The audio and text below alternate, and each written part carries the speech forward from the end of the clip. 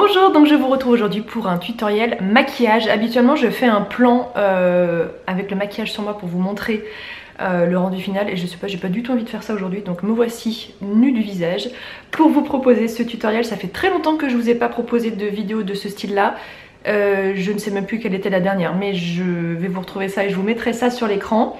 L'idée aujourd'hui c'est de vous présenter des nouveautés. Alors pas forcément des nouveautés qui sont sorties très récemment mais des nouveautés pour moi quoique il y a quand même quelques références qui sont sorties cette année. 80 à 90% de ce que je vais vous présenter, je l'ai acheté moi-même, j'ai passé une grosse commande sur le site de Sephora et il y a quelques produits qui m'ont été envoyés. Alors je vous le redis à chaque fois mais euh, je ne suis pas du tout professionnelle de la beauté du maquillage donc euh, si vous voulez des trucs très professionnels avec vraiment des avis... Euh, vraiment très détaillés sur des produits, des compositions, des modes d'application, etc. Vous n'êtes pas au bon endroit. Moi je me maquille relativement peu, euh, je travaille quand même bien mon teint, mais par exemple sur les yeux, j'ai euh, tous les jours uniquement du mascara, parfois un peu de crayon, mais je ne suis pas à la pro du liner, des fards à paupières. Donc j'ai quand même essayé un peu de modifier mes habitudes pour cette vidéo, mais euh, ça va quand même rester quelque chose d'extrêmement naturel parce que c'est tout simplement ce que je porte au quotidien. donc là, j'ai mon sérum à la vitamine C de chez Rennes et euh, ma crème de jour de chez Atelier Nubio. Je vais vous mettre ces deux références sous la vidéo et on va commencer par le teint. Je voulais euh, me procurer le fond de teint de chez Charlotte Tilbury qui s'appelle... Euh, je ne vais jamais réussir à retrouver son nom, je vous mettrai une photo ici. il n'avait pas ma teinte sur le site de Sephora, il n'avait pas ma teinte au Sephora d'Annecy. Et en fait avec le recul c'est pas plus mal parce que je ne porte quasiment plus de fond de teint. Euh, je porte de la bébé crème, CC crème éventuellement ou alors uniquement du correcteur sur les zones où je peux avoir des petits soucis d'irrégularité de, de, couleur, de teint etc. Mais c'est vrai que je suis pas du tout une adepte du fond de teint. Donc je l'aurais acheté pour le tester, pour vous le présenter. Mais euh, j'ai envie de dire c'est un peu sans regret. Du coup j'ai cherché un anti-cerne pour... Euh, je parle d'anti-cerne mais du coup que je vais utiliser comme anti-cerne et comme correcteur pour remplacer mon anti-cerne de Double Wear d'Estée que je porte tous les jours depuis une bonne dizaine d'années maintenant. Et je me suis procuré le Flash Perfector Concealer, correcteur haute couvrance, fini éclat naturel, ne file pas et résiste à l'eau. Quelle belle description de la marque Dior dans la gamme Backstage. Euh, c'est un anti-cerne dont j'ai entendu beaucoup de bien. Euh, du coup j'ai pris la teinte pas au hasard mais en me fiant uniquement à ce que je voyais sur le site de Sephora et des swatchs que j'avais vus en ligne, j'ai pris la teinte 2N et euh, je pars en vacances dans deux jours. Au moment où vous verrez cette vidéo, je serai de retour de vacances. Tout est pré-filmé pour que vous ayez du contenu à peu près tout l'été. Et je tenais absolument à filmer cette vidéo avant de partir en vacances parce que je vais forcément prendre des couleurs et que là je suis déjà un peu plus bronzée que d'habitude. Donc j'espère que la teinte va euh, coller. Alors c'est un embout pinceau. Ça c'est original, je pensais que c'était un, je pensais que c'était un embout mousse euh, tout simplement. J'ai mon grand miroir qui est là et je vais en mettre, euh, donc j'ai des cicatrices de boutons, vous voyez ici. J'ai ma tache qui est pas complètement partie suite au traitement de ma dermato. C'est mieux qu'avant mais c'est quand même pas l'extase. Et alors j'ai une zone de turbulence entre les deux sourcils. Je crois que ça veut dire quelque chose quand on a des, des boutons euh, entre les sourcils. Je sais pas si ça n'a pas un rapport avec le foie ou quelque chose comme ça, mais en ce moment euh, c'est un problème chez moi. Donc je vais l'utiliser comme j'utilise tous mes correcteurs habituels, c'est-à-dire comme ça. Et je vais en mettre également un petit peu. Je vais juste en mettre un peu sur le pinceau. Je vais euh, le mettre sur les cernes également. Et voilà, et maintenant on va estomper ça. Je vous ai rapproché un petit peu. J'ai utilisé mon pinceau de Face numéro 3 de la marque euh, Marc Jacobs que j'adore. Et je vais venir estomper ça. Bon, en termes de couleur, euh, je m'en suis hyper bien sortie. C'est-à-dire qu'une fois estompé, je ne le vois plus. Euh, c'est assez couvrant. En réalité, ça me fait beaucoup penser au Double Wear parce que c'est couvrant tout en étant... Vous voyez là, j'ai tout camouflé. C'est couvrant tout en étant complètement imperceptible sur la peau. C'est pas épais, c'est pas gras, c'est pas collant. Ah bah alors, euh, très très très très bonne euh, première impression. Bah je suis hyper contente. Il est pas 100% mat, mais on le sent... Euh, ouh, le focus. On le sent un peu longue tenue en termes de texture.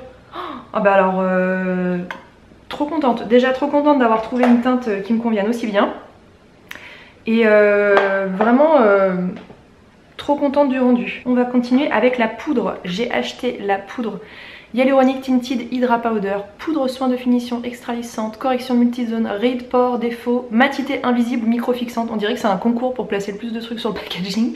Euh, c'est une poudre que j'adore, que je connais depuis des années, euh, que j'achète euh, régulièrement. Régulièrement oui, mais pas très souvent parce qu'elle est extrêmement économique. Et en fait la seule différence là c'est que je l'ai acheté dans la teinte 200 Natural. Jusque là je l'utilisais dans la teinte translucide qui est une vraie teinte translucide. Euh, sans effet euh, blanchâtre ou autre sur la peau. C'est vraiment euh, c'est une, teinte qui est, une teinte qui est complètement transparente. Et j'ai eu envie de tester autre chose, donc je l'ai acheté en teinte naturelle. Donc voilà le bouchon, voilà comment se présente le produit. Et là je me demande si je l'ai pas prise un peu foncée, on va voir. Je vais décoller la protection sans en mettre plein ma robe si possible. Ensuite je vais en mettre un peu dans le bouchon. Alors j'ai tendance à toujours en mettre un peu trop parce que moi j'aime bien un teint bien mat. Mais euh, objectivement c'est une poudre qui est très très très économique. Je cible principalement la zone T, donc tout le tour de la bouche, le nez, les ailes du nez, sous les yeux pour fixer un peu le correcteur. En termes de teinte ça va. Je pensais que dans le boîtier elle paraît assez foncée. Euh, en réalité euh, elles se font parfaitement avec ma carnation. Et ensuite le front. Alors moi j'ai la peau qui ne brille pas ou si peu. En ce moment avec les fortes chaleurs elle brille tout simplement parce que j'ai chaud euh, et que donc je transpire je pense. Mais j'ai pas du tout la peau euh, grasse. En revanche j'aime que mon teint soit bien euh, matifié dans le sens que le maquillage que j'applique dessus tienne toute la journée. Donc je suis quand même adepte des poudres assez matifiantes. tout simplement parce que je veux pas que mon maquillage fiche le camp avant la fin de la journée. Bah, très contente en termes de, texture, de rendu. Euh, bah, elle me rappelle beaucoup la même qui est translucide, ce qui est tout à fait logique. C'est vraiment une très très bonne poudre qui a donc de l'acide hyaluronique infusé dans le produit. Donc si vous avez une peau très déshydratée et que vous avez peur des poudres qui vous donnent un aspect un peu peau de croco et ou un inconfort en fin de journée, ce qui est quelque chose qui peut m'arriver avec des poudres très matifiantes, euh, franchement vous pouvez foncer. C'est un, un, très très bon produit, je pense que je vous apprends rien parce qu'elle est extrêmement populaire cette poudre mais euh, elle est vraiment ravissante. On va continuer avec le bronzer. Je triche un peu parce que c'est un produit que j'essaye déjà depuis quelques jours euh, et que j'adore. Je l'ai reçu de la part de la marque Clarins. Ce sont leurs euh, mythiques, j'ai envie de dire, bronzer. Clarins sort chaque été, si je me trompe pas, un produit de ce style-là avec toujours un packaging très coloré et toujours en édition limitée aussi. Euh, vous pouvez vous en servir comme vous voulez, soit les trois teintes séparées pour faire bronzer, enlumineur, blush, soit mélanger tout pour euh, faire un côté un peu coup de soleil sur le visage. Euh, c'est un très très bon produit, c'est le Ever Bronze and Blush Compact Powder. Bonne mine ensoleillée, nutrition, poudre compacte infusée à l'huile de coco. L'odeur est démentielle et chaque année il y a une petite signature olfactive que je trouve très très réussie. donc voilà, ça fait trois jours que je m'en sers. Je peux déjà vous dire que j'adore ce produit et que je vous en reparlerai dans mes favoris beauté parce que vraiment euh, j'adore. Principalement en usage bronzer et pas forcément les trois teintes euh, séparées. Euh, comme toujours, j'ai le visage plus clair que mon corps parce que c'est pas que je protège pas bien mon corps du soleil, mais je protège très bien mon visage et du coup un peu moins mon corps. Donc je peux me permettre de rajouter un, peu de, un peu de couleur. je vous ai pas parlé des pinceaux que j'utilise, mais c'est franchement toujours la même chose. Soit Real Techniques, soit Zoeva. Voilà, si vous regardez mes anciennes vidéos, rien n'a changé. Donc j'en ai un petit peu sur les joues, un peu sur les tempes, un peu sur les nez. Voilà, je pense que vous voyez, j'ai un cheveu qui se balade, je pense que vous voyez le côté, euh, le ensoleillé, bien lumineux aussi, ça reste très naturel. Et ensuite j'en mets dans le cou parce que j'ai toujours le cou très clair, parce qu'avec l'ombre du visage, euh, c'est une partie du corps qui reste toujours assez claire. Alors ensuite on va être full euh, glow parce que j'ai acheté le CC Liquid Blush euh, Brightening de la marque By Terry. Ça existait dans deux teintes et moi j'ai opté pour la teinte 01 Rosy Flash. c'est un produit qui se présente sous forme liquide. un peu sous forme de gros pinceaux comme ça, je m'en suis absolument pas servi, on va crash tester ça, crash tester ça, c'est pas facile à dire, et vous avez un bouton à la base pour faire sortir le produit. Euh, j'imagine que pour l'amorcer, il va falloir que je pompe un petit moment. L'autre teinte de mémoire était une teinte euh, très très très lumineuse et euh, assez peu pigmentée. Voilà, ça commence à, sortir. Euh, pinceau, pinceau, pinceau. Moi je vais prendre mon pinceau blush habituel. Je vais appliquer ça sur les joues. Donc d'après ce que j'ai compris, c'est pas du blush hyper pigmenté, mais que ça c'est un peu un multi-usage entre blush et enlumineur. Voilà, je vais y aller doucement parce que je voudrais pas me retrouver avec un truc complètement inestompable. Oh là là, qu'est-ce que c'est beau c'est pas extrêmement pigmenté mais voilà c'est pas surprenant vu la description du produit. Euh, il y a un petit reflet rose. Oh c'est magnifique, vraiment vraiment magnifique. Je suis pas vraiment fan de la présentation mais comment est-ce qu'ils auraient pu faire les choses mieux? Peut-être juste un embout, euh, vous savez comme un embout gloss dans un produit parce que finalement le pinceau, bah moi je vais jamais me servir du pinceau pour appliquer le produit. C'est-à-dire que je vais le poser au pinceau avec le pinceau fourni et ensuite je vais l'estomper avec mon propre pinceau. Donc euh, c'est pas un mode de présentation qui m'enchante trop, mais il faut admettre que c'est assez fréquent pour ce style de produit, donc euh, on peut pas trop s'en plaindre. Oh, c'est ravissant. C'est très très très brillant, subtil, c'est pas pailleté. Euh, c'est fortement nacré, mais c'est pas pailleté, ce qui est quelque chose que j'apprécie, parce que moi les trucs vraiment avec des gros morceaux de paillettes, c'est pas quelque chose que j'aime beaucoup. Et je vous remonte le packaging, c'est vraiment très très beau. Il y a l'odeur significative de, rose hein, qui est présente dans tous les produits je pense de la marque By qui bien sûr s'estompe par la suite mais euh, je me permets de vous le mentionner parce que c'est pas une odeur qui plaît à tout le monde. Euh, du coup ça va peut-être faire un peu doublon avec l'autre produit que je voulais vous présenter qui est euh, The Impossible Glow de la marque Paille. donc Paille qui est une marque de, soins à la base avec des compositions hyper hyper clean qui propose aussi maintenant quelques références maquillage. Euh, donc c'est un concentré éclat illuminateur avec de l'acide hyaluronique et du sea kelp, mais je ne sais pas ce qu'est du kelp, mais en tout cas quelque chose qui est extrait euh, des fonds marins. Euh, ça existe dans plusieurs teintes. Ça je l'ai reçu de la part du site Oh My Cream, qui est un site qui revend donc la marque Paille. Et alors j'ai vu passer ce produit absolument partout. Je pense qu'il a un succès fou, tout le monde en est complètement dingue. Ils m'ont permis de choisir la teinte, donc j'ai choisi la teinte 03 Rose Gold parce que ça existe en 3 ou 4 teintes. Moi pour ce style de produit, soit j'opte pour une teinte un peu champagne neutre. J'aime pas trop les enlumineurs euh, vraiment dorés euh, jaunes. Je trouve que ça me va pas extrêmement bien. Mais je trouvais ce rose gold absolument ravissant. Alors vous en avez pour euh, toute une vie. Euh, c'est un flacon euh, voilà pipette comme, euh, ceci. Et vous pouvez soit mélanger quelques gouttes avec votre crème de jour soit mélanger quelques gouttes avec votre fond de teint soit l'appliquer direct sur la peau. Ce que je vais faire aujourd'hui je pense que je vais en mettre un peu sur l'arrêt du nez. Je vais peut-être en rajouter un tout petit peu sur les joues pour voir le rendu mais je le fais pour, pour la vidéo on va dire parce qu'avec le blush je pense que ça fait un peu beaucoup. Alors on va commencer par l'arrêt du nez. Je vais pas en mettre trop Ah, c'est magnifique. C'est euh, à nouveau très subtil et c'est ce qui me plaît dans ce style de produit. Ensuite, les joues. J'en mets un peu sur le bombé euh, de la joue. Très très très très pigmenté. Je vous confirme qu'avec ce produit vous en avez pour euh, toute une vie. Moi j'aime bien le remonter un peu euh, sur euh, le sourcil pour faire comme un, C comme ça qui encadre le regard. La même chose de l'autre côté, autant être symétrique. J'en mets un peu sur le dessus de la lèvre. On peut en mettre un peu sur le dessous aussi.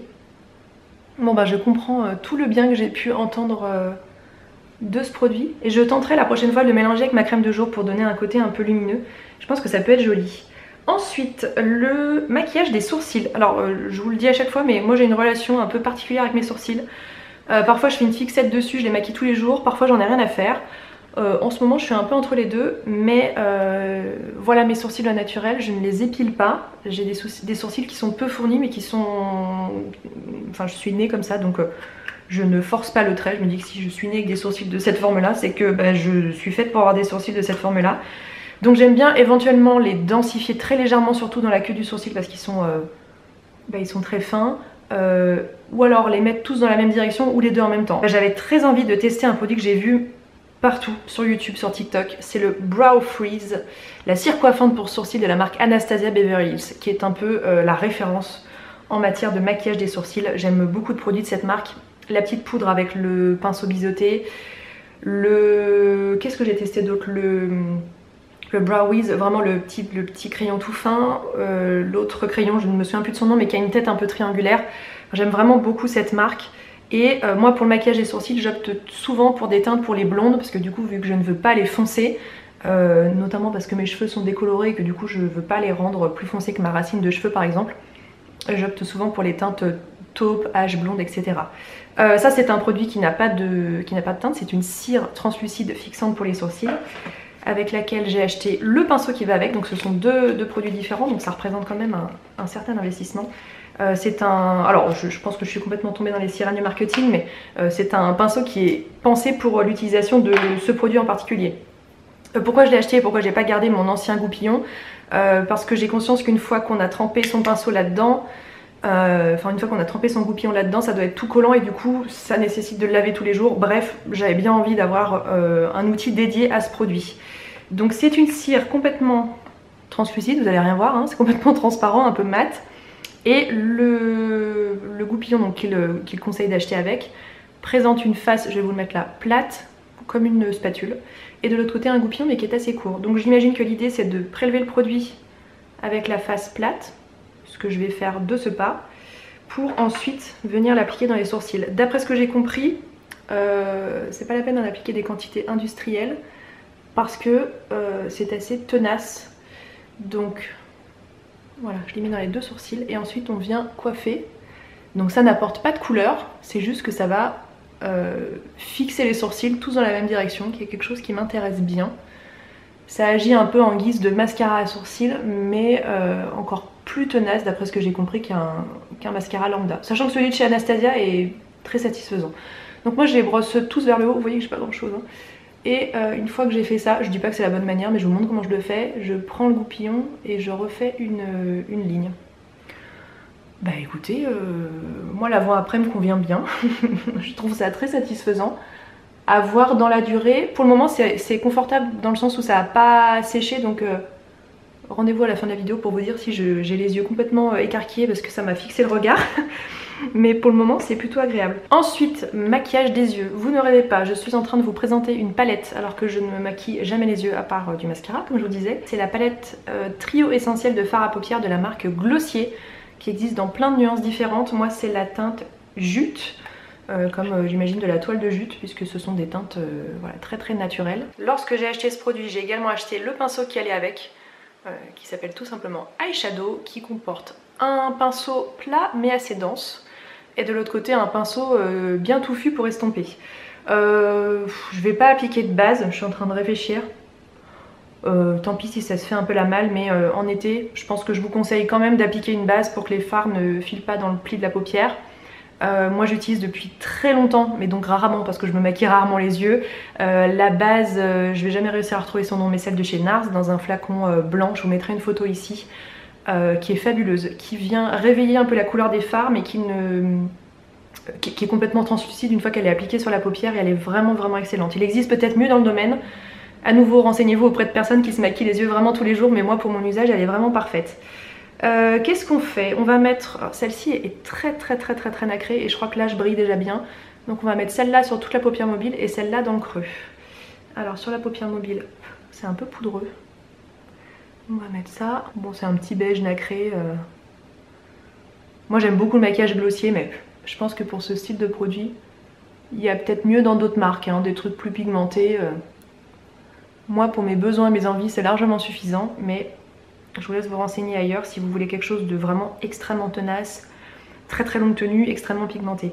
Et puis avec l'embout un peu plus touffu, je vais prendre la teinte euh, beige mat. Je vais la mettre dans le creux de paupière, juste pour ajouter une petite ombre. Et avec la tranche du côté le plus plat des deux, je vais reprendre cette teinte mat pour la mettre euh, sous l'œil sur la paupière inférieure, juste pour créer une petite ombre aussi. Voilà le rendu final. Bon, c'est extrêmement discret.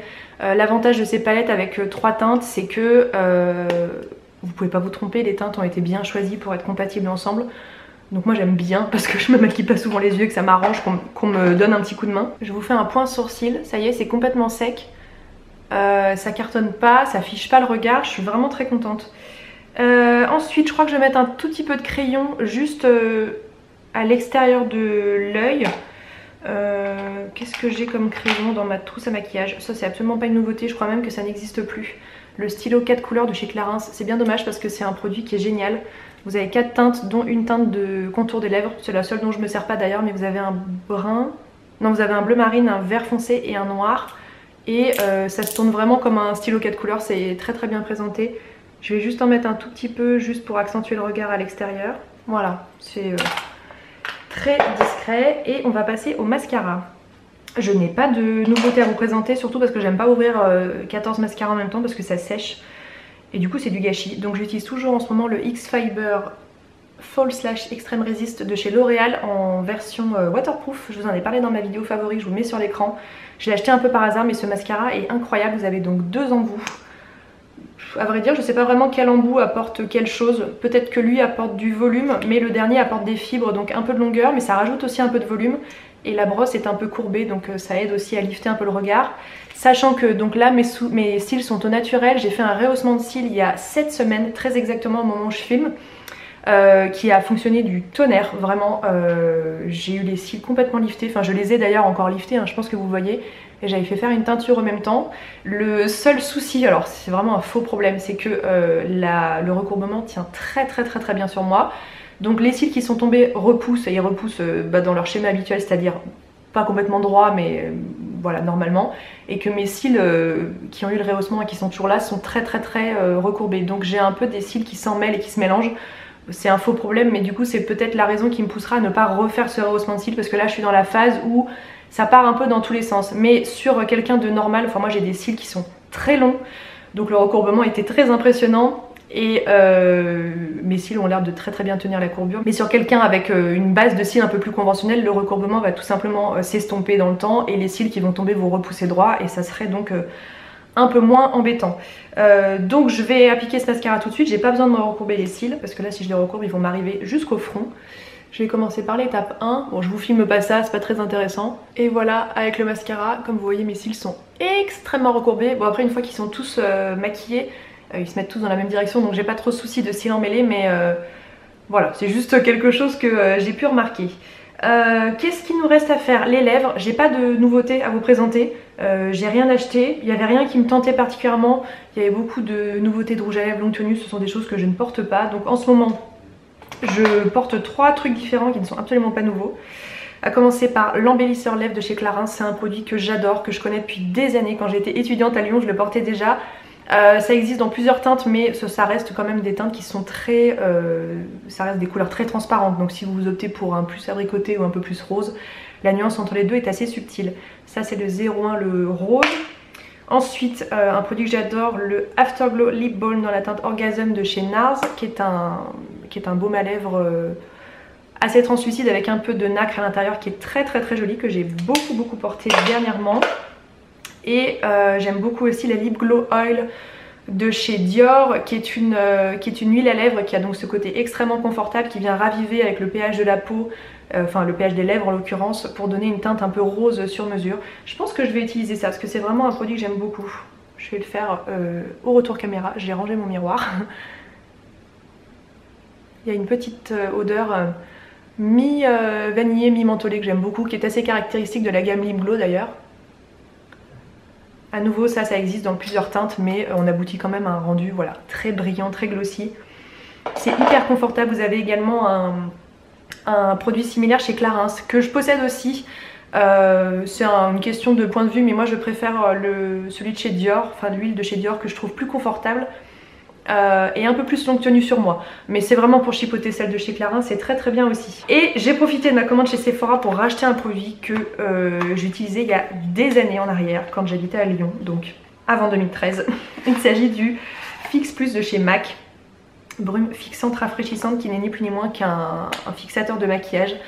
Alors euh, depuis le premier Fix Plus que j'ai acheté, bah, la marque a fait un peu de chemin parce que ça existe maintenant dans plusieurs senteurs différentes. Je sais plus s'il y avait lavande, noix de coco, je sais plus quoi. Mais c'est un produit dont je me souviens très bien, euh, que je trouvais extrêmement efficace pour faire durer le maquillage dans le temps, en plus d'être très agréable à utiliser. Donc je suis très contente de, l'avoir racheté. Je sais pas trop pourquoi je l'ai pas racheté d'ailleurs euh, au fil des années. Peut-être que je vais m'y remettre maintenant. Euh, ça fait 100 ml et c'est une brume, si ma mémoire est bonne, on va voir, qui est très très très fine. Donc on éloigne ça de 20 cm de son visage et on vaporise ça sur tout le visage. l'odeur n'a pas changé. Ça sent très très bon. Vous avez un système pour fermer qui est assez, euh, voilà, qui est assez sûr hein, si vous voulez voyager avec. Donc là j'ai le visage tout humide et après on laisse le produit euh, sécher et en séchant toutes les couches de maquillage vont fusionner ensemble pour normalement ne plus trop bouger au fil de la journée. Euh, c'est pas une solution révolutionnaire mais c'est mieux que de rien mettre. Et euh, dans ce style de produit fixant pour le maquillage, moi ça fait partie de ceux que j'ai adoré.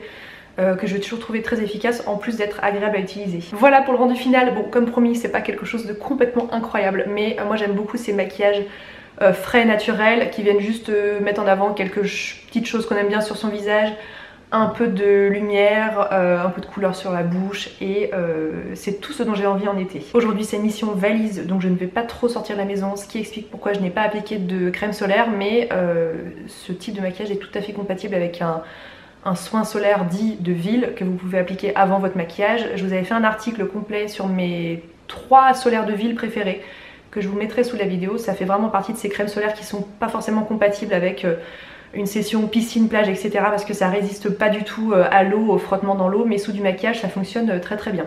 Donc je vous mettrai ça sous la vidéo. J'utilise toujours les mêmes cette année. je vais finir cette vidéo avec quelques autres petites choses que j'ai achetées sur le site de Sephora. J'ai profité de ma commande. j'ai commandé les drying patch de la marque Mario Badescu. Ce sont des petits patchs ronds comme ça à appliquer sur des boutons vraiment quand vous avez des boutons hyper hyper inflammés. J'appelle ça les boutons euh, sous-marins. Euh, et que vous sentez que demain, le lendemain ça va être vraiment horrible. Donc il y a 60 patchs à l'intérieur. Je triche un peu, ça je m'en suis déjà servi.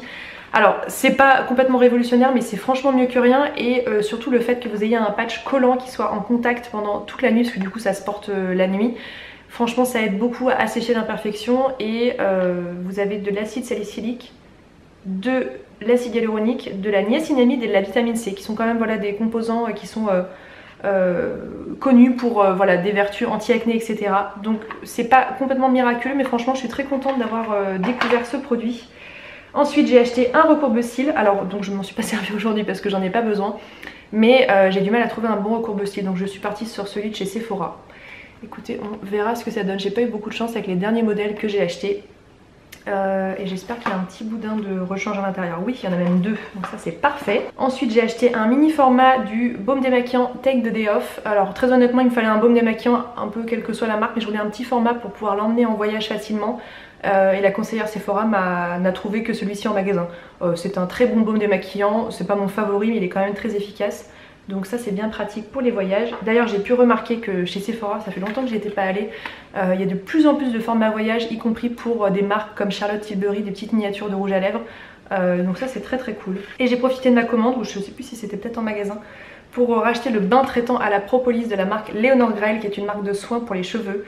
ce produit je l'ai beaucoup apprécié par le passé et vu que j'ai du mal à trouver un bon soin anti-démangeaison, euh, l'une de vous m'a fait repenser à ce produit et c'est vrai qu'il avait été très efficace sur moi. La propolis a des, vertus très apaisantes pour les cuirs chevelus irrités comme ça peut être mon cas. Euh, c'est pas un produit qui est très économique parce que je trouve qu'il en faut quand même pas mal donc je vais m'en servir un peu, euh, je sais pas, un shampoing sur 4, un shampoing sur 5 juste pour maintenir un cuir chevelu stable on va dire. mais c'est un produit qui est très efficace par contre ça coûte une petite fortune. Voilà pour ce tutoriel maquillage, j'espère que cette vidéo vous a plu. Je vous souhaite un très très bel été et je vous dis à bientôt.